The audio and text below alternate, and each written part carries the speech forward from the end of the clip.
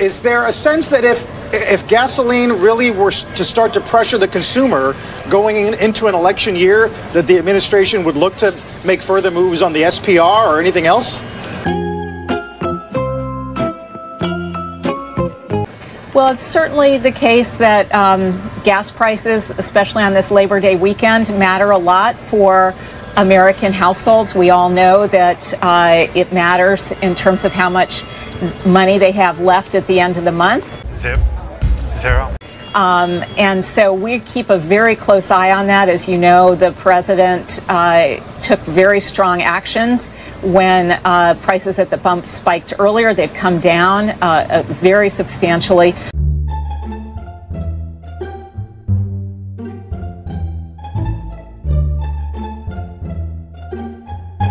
President uh, took very strong actions. What must be what?